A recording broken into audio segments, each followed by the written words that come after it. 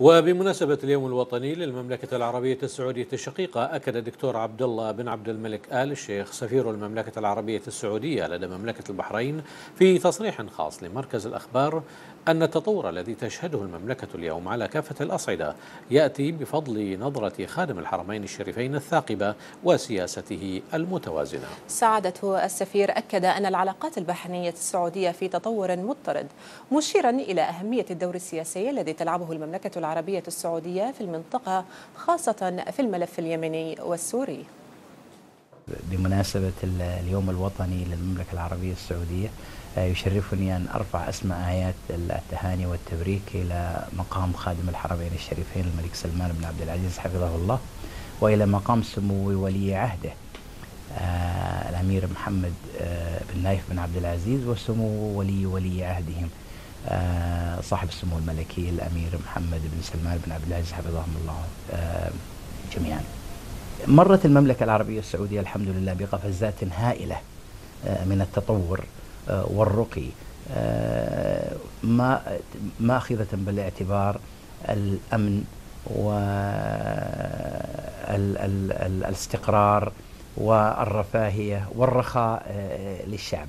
هذه الطفرة الهائلة اللي نراها الآن وهذا التطور الغير مسبوق لا يمكن أن يكون في هذه الفترة الوجيزة يمكن أن يرى في أي مكان آخر فيما عدا المملكة العربية السعودية ولله الحمد.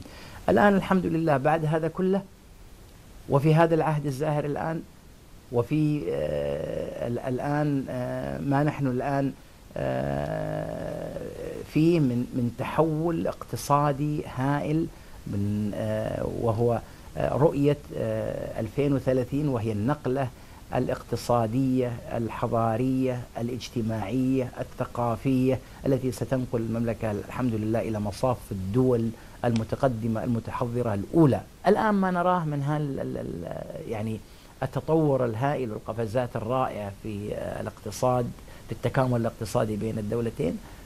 هذا يدل على أنه المملكة العربية السعودية ومملكة البحرين العزيزة ما هما إلا دولتين في دولة ما هما إلا كما أنا أقول دائما قلبين في جسد واحد. والمملكة العربية السعودية هي عمق لمملكة البحرين ومملكة البحرين هي عمق للمملكة العربية السعودية كل منهما خاصرة للأخرى.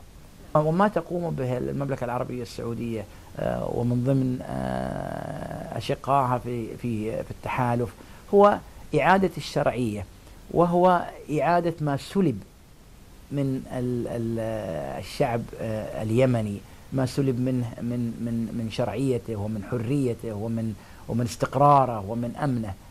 بالنسبة طبعا لسوريا المملكة العربية السعودية وبقية الدول مجلس التعاون همها هو إعادة الاستقرار وهمها هو أن ينعم الشعب السوري بما ينعم ببقية شعوب الأرض من من من أمن ومن رفاهية ومن عيش كريم في بلده.